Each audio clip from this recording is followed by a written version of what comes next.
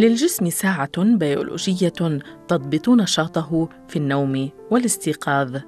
حجم هذه الساعة الواقعة في منتصف الدماغ لا يتعدى حجم حبة البازلاء، وتسمى بالغدة الصنوبرية.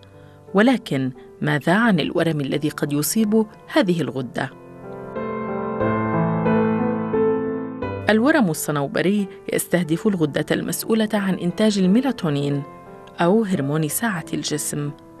وعلى الرغم من أنه نادر نسبيا ويمثل نحو واحد بالمئة من أورام الدماغ لدى البالغين إلا أنه يصل إلى ما نسبته أحد عشر بالمئة لدى الأطفال. ما لا يقل عن 17 نوعاً من الأورام قد تصيب الغدة الصنوبرية.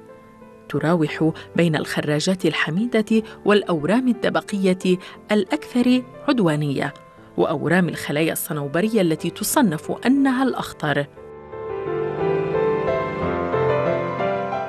أعراض الأورام الصنوبرية تعتمد على حجم وموقع الورم وترتبط في الغالب بالشعور بالضغط داخل الجمجمة.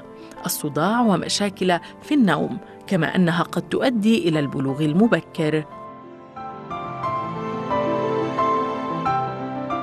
الأطباء لم يتوصلوا بعد إلى السبب المباشر للإصابة بالورم الصنوبري لكن وجود طفرات في الجين RB1 يمكن أن يزيد من خطر الإصابة بتلك الأورام كما أن التعرض للإشعاع والمواد الكيميائية يسهم أيضا في ذلك.